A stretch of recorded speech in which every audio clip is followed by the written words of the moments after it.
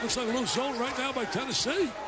Tennessee went the little zone. And Okeke puts it up and in. Good play.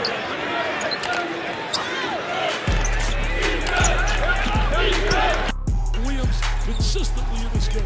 They go right to their best player, and Grant Williams knocks down the game's first shot.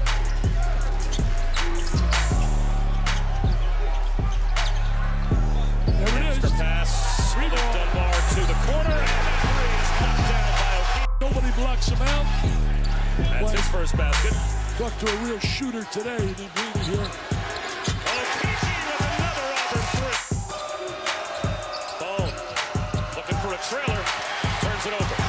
Williams tried to give a foul, instead Okeke gets the hang from the rim. See, you got to get. Looks like a little zone right now by Tennessee. Tennessee went the little zone. And Okeke puts it up and in.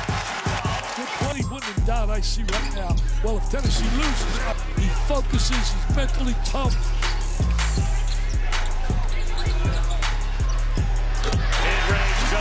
For Edge, Tennessee on the interior. Edge on the perimeter. The shooting of a three. Auburn. 14 for Grant Williams. Okeke buries a three.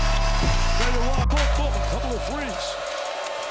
Schofield has his pocket picked by Okeke.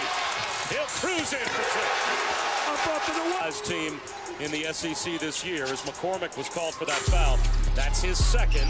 He has really given Auburn great minutes off the bench. Yeah, he really has. Accelerates and scores. I tell you, Auburn beat you here. It's not really an upset. I mean, they're so tough here. Okeke, he's got 22. Starts to boom, boom. A couple of threes. Schofield has oh, his pocket Okeke. He'll cruise in for two up in the